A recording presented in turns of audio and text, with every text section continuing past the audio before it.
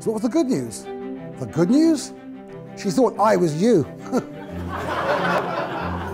One of the reasons behind offline was I want to take people slightly out of their comfort zone. Maybe make them think twice about the way of the world and indeed the way they may live their life themselves. Perfection and imperfection can quite happily coexist without us being any the wiser as to which is which. The entertainment, or should I call it infotainment, the informative subjects that are discussed are very interesting, yeah, and funny. When you marry the wrong partner, your life is finished.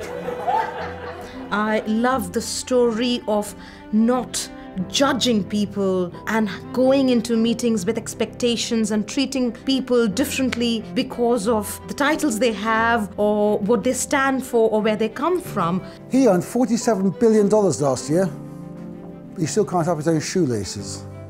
If you bring people together with an element of the unknown, people pay more attention.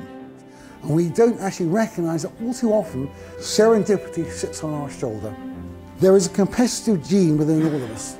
For some, it lies largely dormant, while for others, it's a raging bull. Not me.